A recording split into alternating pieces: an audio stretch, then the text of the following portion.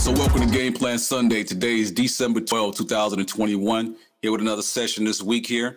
Um, pretty interesting. What we saw last week was some dip buying pop offs, uh, a miss of some inflationary data that just, you know, wasn't good. So, uh, the markets is going to be, you know, digesting the Fed's decision coming this week.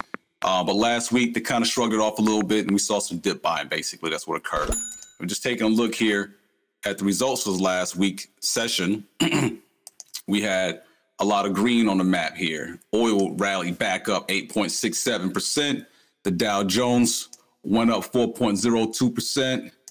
The ES or the SP 500, 3.82. The NASDAQ was up 3.61%. The Russell even came back 2.43%. Gold slightly down, negative 0.04%. The dollar was slightly down, negative 0.11%, and Bitcoin was down, negative 10.78%. Now that's not good to be dropping, you know, 10% in a week. So again, you better make sure you got your diamond hands. If you're trying to play the Bitcoin crypto game, you got to have a good stomach for that. You feel me? But um, yeah, that was interesting. But for the most part, we saw equities have a nice little bounce back amidst of, you know, data that should have been bad. Um, the technology sector was up 5.9%.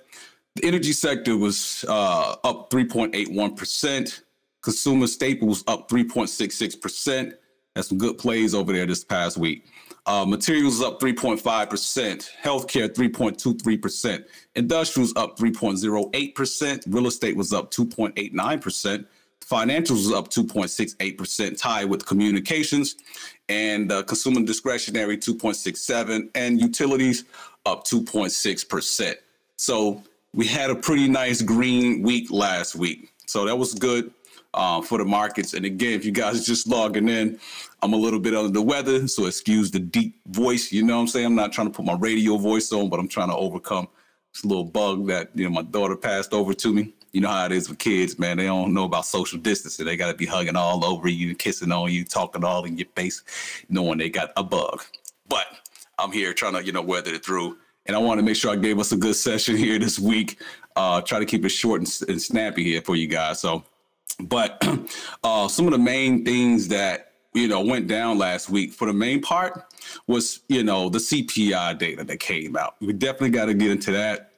And um, let me see what else we had in the headlines before we even get into the CPI, because it's a lot of information that came from that. And we had the China Evergrande situation as well.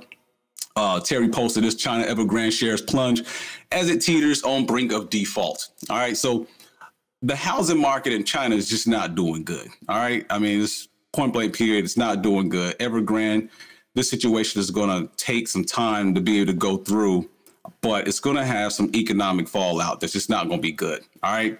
Um, and so there's nothing really much to talk about on that except for just watching them trying to wind this thing down and they're trying to wind it down without, you know, causing destruction. But I think it's going to cause, you know, much more destruction uh, in China's real estate market. But that was a good one. Um, let's see. Okay, we caught some of that. Let's just go ahead and jump straight into it because I don't think we posted much in here except for that CPI data. So uh, let's just jump into it here.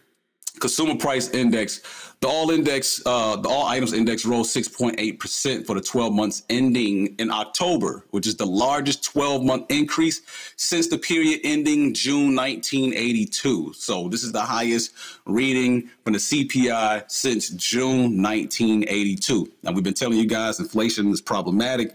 You know, since the beginning of this year, um, and the feds, they've been denying it. And then they started to change things, move the goalposts, say that it was transitory and uh, elongated transitory and, and, and all kind of just crazy terms that they just put out here. But this is basically what it looks like. So you guys can understand what's going on. you can see that from November of 2020, this was last year. All right. Excuse me, under the weather here. And where we are today. All right. So uh, well, it's probably higher now. We're in, in, the month of December, but this is the, the last reading. So you guys can clearly see, you know, this is what's happening to our purchasing power. All right. Uh, inflation is super high, almost 7%. Now, this is the CPI number. Some people call it the CPI number. There's a reason why they call it the CPI number because it's not the same, you know, uh, CPI that they had in the 70s, the way that they used to account for it. They changed the numbers. They changed the way that they account for, you know, the calculation for it in a way that kind of keeps inflation like bogged down to make it seem like it's low. But in reality, if they were to measure this the same way they used to measure it in the 70s, this number will be over 10%. So inflation, this is why you hear people saying inflation is actually higher than the government's numbers. These government numbers are, you know, to benefit the government's, you know, programs that they got going on. So, uh, but that's what the, uh, this was the report that came out. And you guys can check it right here. It says that the uh, CPI increased 0.8%. All index increased 6.8%. Energy index rose 3.5%. The November gasoline index increased 6.1%. Food in uh, food index increased 0.7%. Food at home rose 0.8%. And then down here you see the all items index rose 6.8%. which We covered earlier. We told you guys about that. So it's the largest increase since 1982.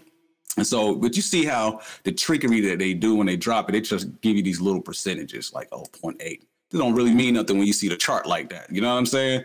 But in reality, it's 6.8%. That's that's basically what, what's happening here. Um, that's for the whole 12 months. That's when they average it all out. But um, this is actually problematic in lots of ways, though. So the CPI is going up higher. We're in a higher inflationary environment. There is no transitory. We talked about it uh, last week with Powell, you know, retired the term transitory. and this is going to be an important number coming into this week uh, because this week we're expecting for the Fed, you guys can see on the calendar here, the FOMC meeting right there. Uh, it's going to be this week. And so the markets is going to be anticipating, you know, the Feds to start to do their taper thing um, so that they can start raising rates. Now, the question is, will they raise rates? Can they raise rates? Right now, that's all the chatter. The chatter is that they can they're, they're going to raise rates. Um, and let me show you guys something real quick.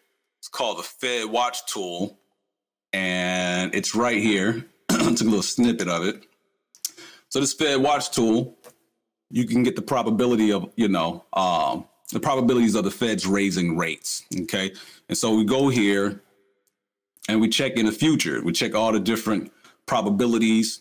And so we take a look at what's the highest probabilities. But we go to these different date sets December, January, March, May, excuse me, June. So you can go into time and it'll let you know, you know, what they are projecting. So this is for the 4th of May, 2022. And what you're looking for is the highest probability. So we find they got like these three different sets, well, four. And you take a look at what's the highest probability. So in this case, 44% is the highest. And so remember, this is where we are right now. We are here right now, 0% interest rate. And so they are expecting them to raise it, you know, by a quarter basis point. Excuse me. So that's this is how you read that, okay? So we're looking at the, you know, the markets are anticipating, when we say the markets, so the markets are anticipating the feds to hike these rates by May of next year, um, which from the last FOMC meeting, I believe they was talking about um, going ahead and getting rid of, you know, uh, loading off the balance sheet before then and talking about raising rates around June timeframe. But now you can see here, it's starting to change, you know, the trajectory here uh, for May this this all changes in real time. So this is something that you guys get familiar with the Fed Watch tool and check it like every week or at least once a month, and you'll see, you know, what what's the anticipation for. But basically, the Fed's balance sheet, where they're talking about winding down, they're still doing quantitative easing, but they're talking about not spending so much into the uh, economy. So they've been cutting back how much they're spending in the economy. And remember, we had this huge growth uh, rebound because the feds don't want deflation. So we had the shortest recession ever in history. And it was popped out of it because they pumped it full of liquidity. All right. So they pumped all this money in there to stop it. And then um, here we are out of the recession, but look like we're getting ready to head into another recession because they are slowing down the money that they're putting in the system. And they plan on moving completely out so that they can raise the rates. All right. So this real earning situation here is important too, because the real average hourly earnings decreased 1.9%. This came out also at the same time as the CPI, but the CPI is a more important number than this. but when you look at it, what it's basically telling you is that inflation is taking away the amount of money that people are it's eating away the money that people are making. So even though people are making higher wages, if you're not outpacing inflation, it's going to cut into your spending. Okay. And so what they're showing is that over time, when you look at this chart, you can see this. You don't need to be a map genius to notice that you have less positive reads then you have negative readings. All right. So you got four positives, you got eight negatives. so that tells you right there, that's the one point, the negative 1.9%. So wages are not outpacing inflation. This is problematic because it could actually slow, well, it will slow down people's spending. And so I wrote this in here so you guys can understand how to read this thing as well. It says that real earnings measures the change in worker earnings after adjusting for inflation. If income fails to grow at or above the rate of inflation, then people have less to spend on food, clothing, vacations, and gasoline. This results in lower living standards and discontented consumers. Labor unrest might follow as workers demand more pay to offset the corrosive effects of higher prices. So if you're looking in the media, you'll see that's what's happening currently right now, right? Labor unrest. You got all kind of, you know, people striking, union members are striking. People want more money, need to make more money because the cost of living is getting unbearable. The CPI numbers doesn't reflect it accurately. That's why I say the numbers don't mean anything. The cost of rent, the cost of mortgage, cost of everything is super high. Food, is super high. Energy is super high and it's going to continue to get higher. So it's important that you outpace the rate of inflation because if not, inflation is going to make you more poor.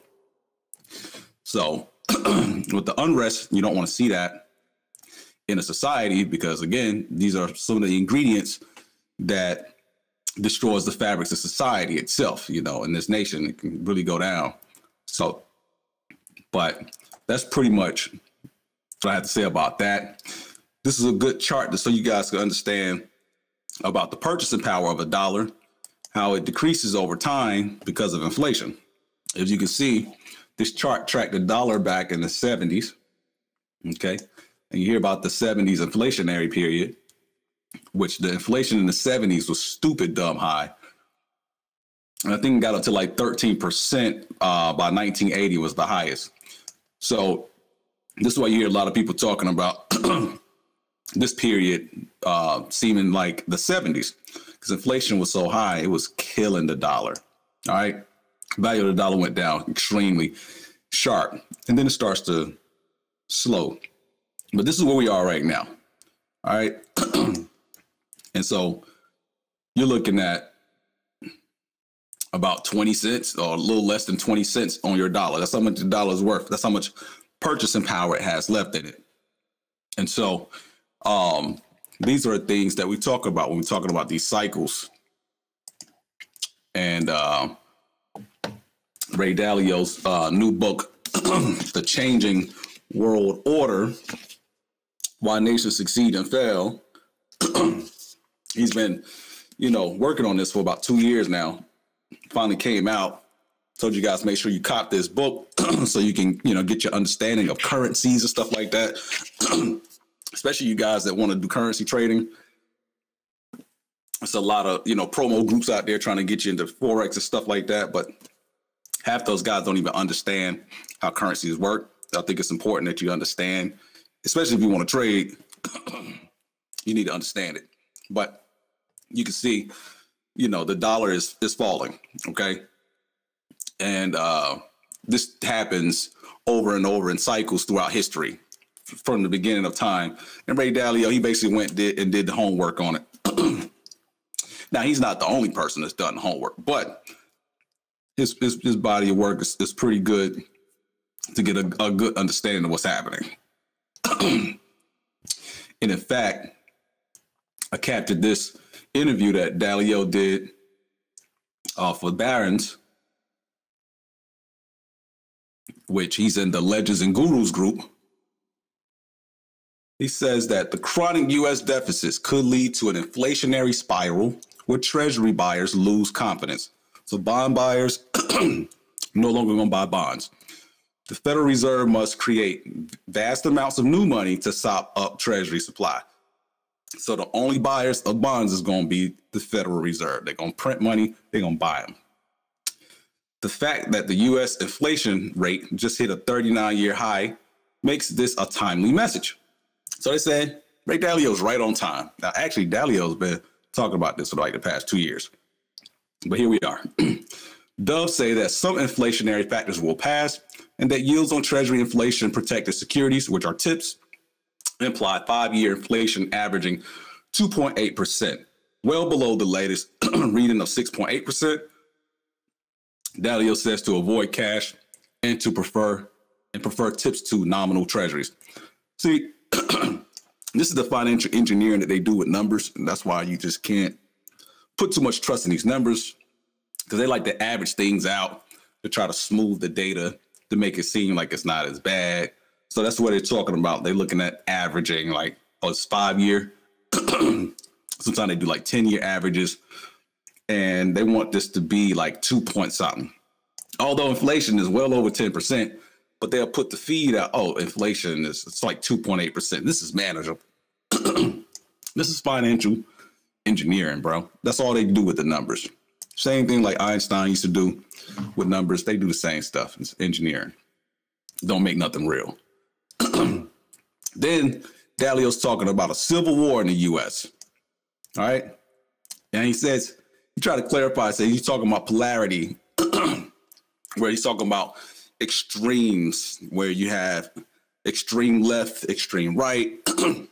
and these are the ingredients that could turn into a civil war. Now, being familiar with his work over time, these are the things that he see happen over and over and and you know throughout societies, empires, and kingdoms when you have the wealth gaps that get so large. And right now we have a crazy wealth gap.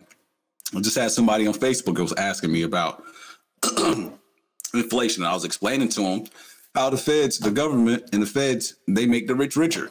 And you know, their policies, they claim that they're combating the rich, but in really reality, they're making them more wealthy. And they don't care either because they have assets as well. So they're getting richer. You know, uh, these Democratic senators, Nancy Pelosi, they got, you know, mansions, bro. Their houses are increasing in value. You think they care? No, they don't care because they have assets. In fact, they own stocks. They own a lot of stocks. So because when they print money and they do these inflationary policies, it benefits asset owners non-asset owners are at the detriment. Okay. They don't benefit. So if you don't have stocks, you don't have real estate, you don't have any assets, you're done. That's what we keep on telling you. But that's their only answer. The government's only answer is to, you know, print money. They don't want to tax because, you know, that can cost them an election. So you just inflate it away and just blame it on capitalism. You see? It's just, you know, politically expedient. All right. So he's talking about the Civil War. Then the last one he's talking about is war with China. He's talking about China's a great place to invest, but you know, times are changing. Things is getting real. know I'm a little under the weather, so try not to keep it too long though. But anyway, some good information on here that we had on this article here. It was talking about Alibaba, and I wanted to cover that. It said the problem is that U.S. buyers of Alibaba shares aren't getting Alibaba. So you ain't buying Alibaba, but rather a Cayman Island shell company with a contractual relationship with Alibaba. China has soured on letting its companies use that loophole to pursue capital abroad. and US regulators don't like the risk of arbitrary actions from China. When Didi Global, the Uber of China, recently said it would delist from New York Stock Exchange to pursue a listing in Hong Kong, its shares fell more than 20% in a day. So I thought that was pretty juicy information for you guys. Uh, but again, this is uh, under Ray Dalio's profile under the Legends and Gurus. All right, taking a look at the S&P 500 chart on the weekly here. Uh, when we swung from this low to this high, we got this extension right here. We see price rejected here, fell to the 20, and then bounced back from here. Now it's pushing this level again. And it looks like we may get a breach through here to go higher. On the daily chart, we can see a squeeze, and we also have a buy trigger as well. This is a squeeze on a daily. Trend is moving up. Momentum is going up. Buy trigger says up. Pushing against this resistance right here across. Is it enough to get us pushed through? I believe we will get some push through. Next target at 4,800. Dustin, you think it's going to be a double top? It could be. It could be.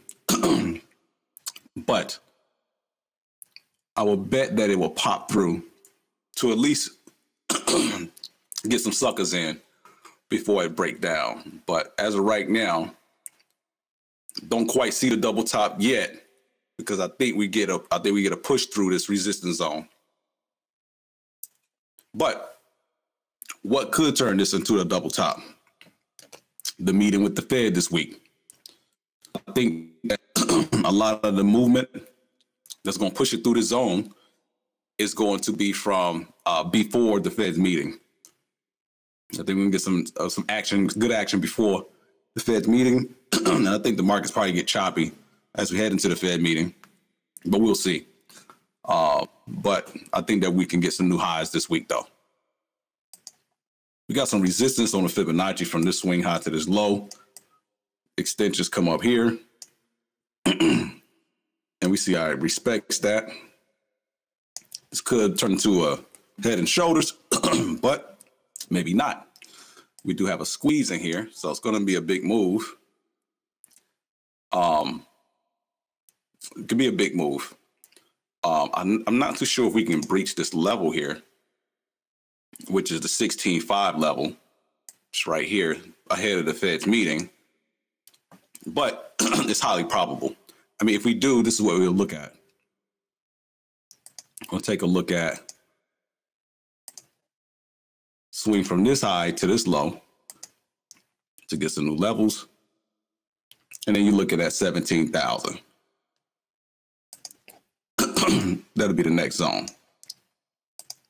Okay.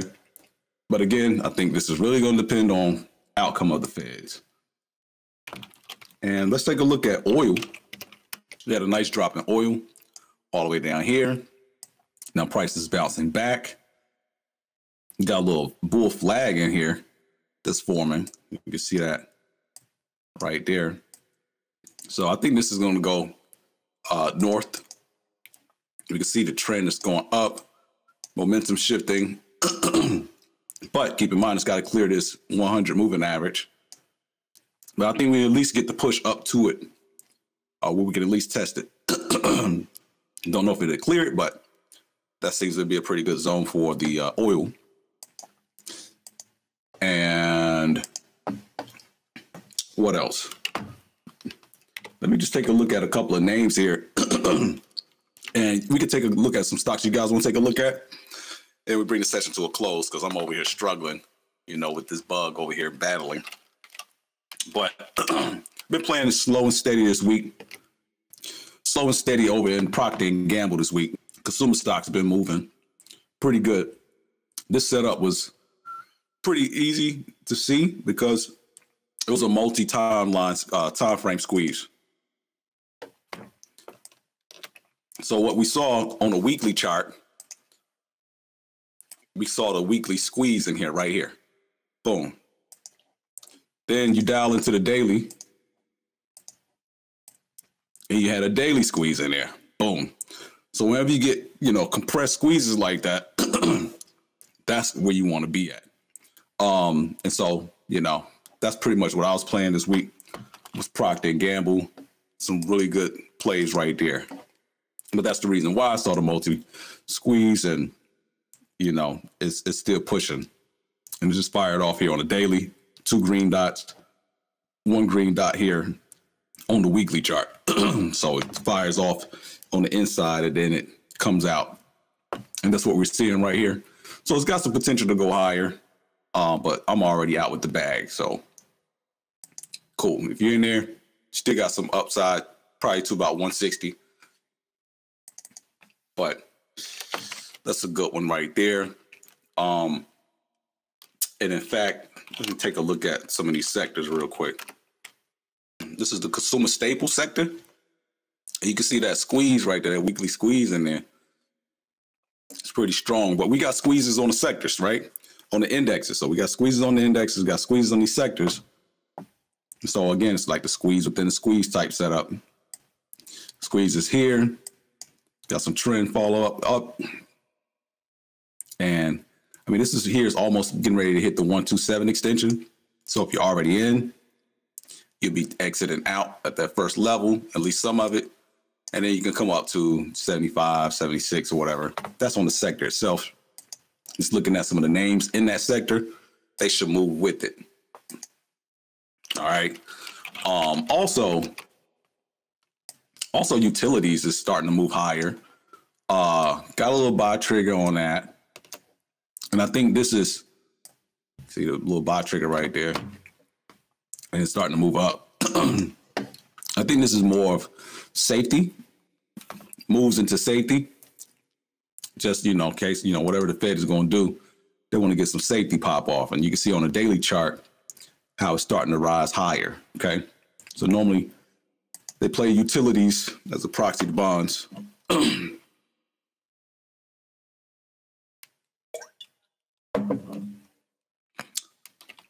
All right. And then Dustin says Ford.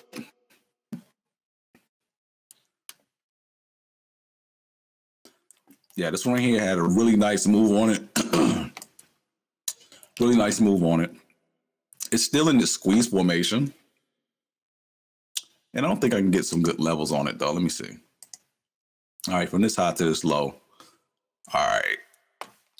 But it's still in the squeeze. So it means squeeze hasn't fired off yet.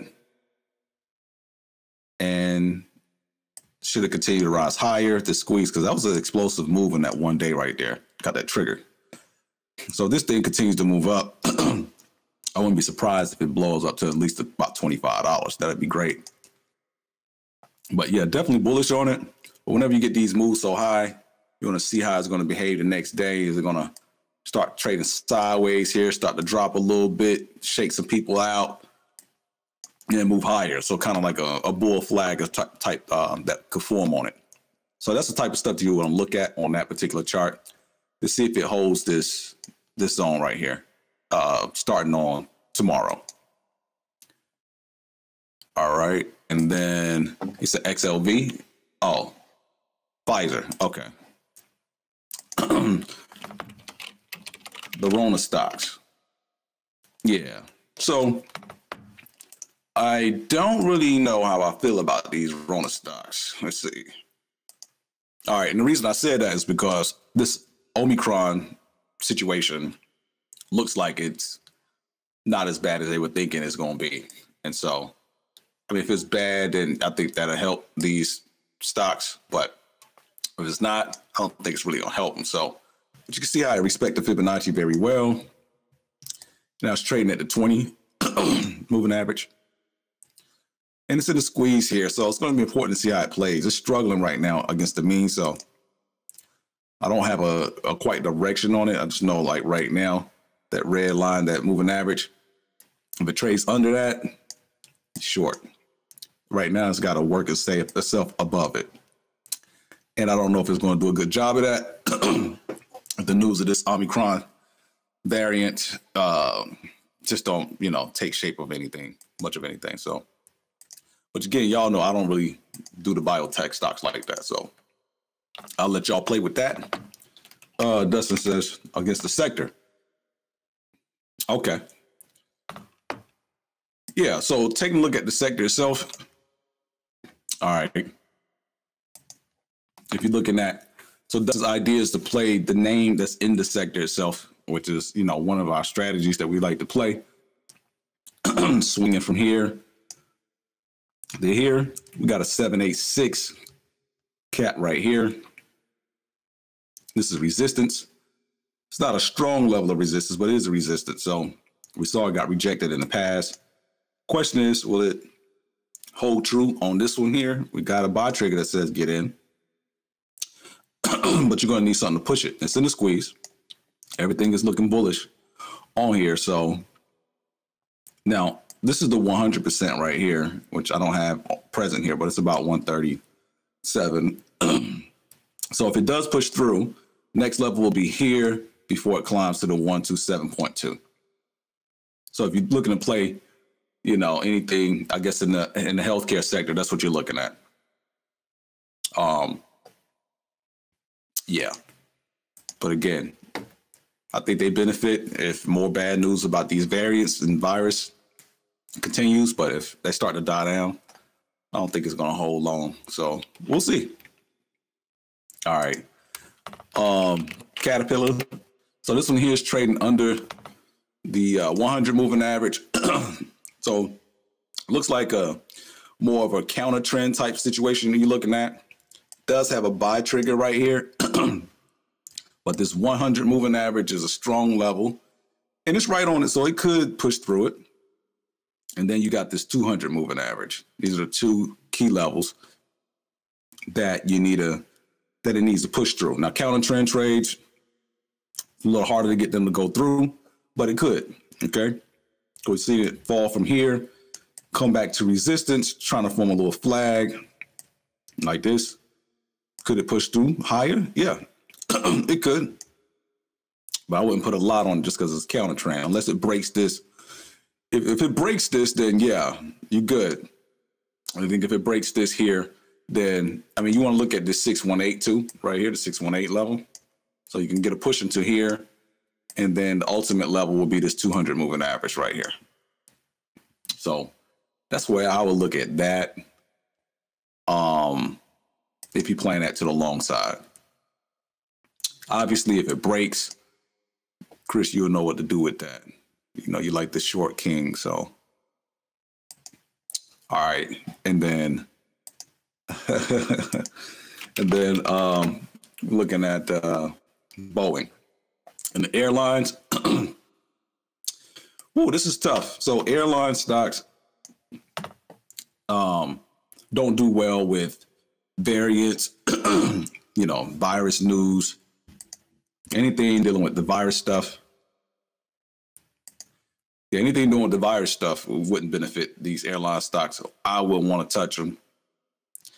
Um, as you see, the Omicron situation got this thing wrecked down here. Then it starts to lighten up when you know they say, "Oh, the Omicron is not not that bad." So then it starts to rally back up right into the 20 and the 50, but now starting to kind of dip down. I could come back down here. If again, if this Omicron situation gets worse, I would be short these airline stocks. but again, if the Omicron is not as bad as they say it is, yeah, you may get some chop sideways to north. But uh, airlines is no place I want to be right now because they're too sensitive to this virus stuff. All right, what else we got? Anything else?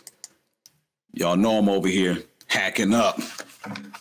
ATVI, Activision. yeah. Activision, this is the company that makes the video game Call of Duty. Um, they just released a new map that the kids are playing now. I don't think they're receiving it well, but from what I know, Activision is man, they got some issues actually. so it looks like they have fired or laid off a bunch of people. And you guys can see, I mean, they they've been getting wrecked. Um, and if you take a look, I mean, this is from the early this year, from hundred dollars all the way down here. So it's half of its value you know, just destroyed. But they got people that's going on strike. You know, their workers are going on strike about this thing. So it's not looking good. and normally these video game companies make their money in the Christmas holidays because most parents is buying the new consoles and the new games. But they got shortages out here, so I don't really know how this is going to play out. And I haven't seen a time like this ever in my life, actually. So we'll see how it plays out. But if you ask me, it's looking pretty oversold. now it could go down further. Let's actually go out a little further. Weekly, yeah. So just taking a look at this weekly chart here. Let's see, we can get a levels right down here. So you can get a level right here around 50 bucks. So these bright red candlesticks you see on the chart, these are normally like reversals. They normally do this reversal thing, um, but we'll see how it plays because they didn't fizz out, you know, much on this chart here. So, but I, you know, just looking at it, it looks oversold if you ask me. However, I think it can come down to 50 though.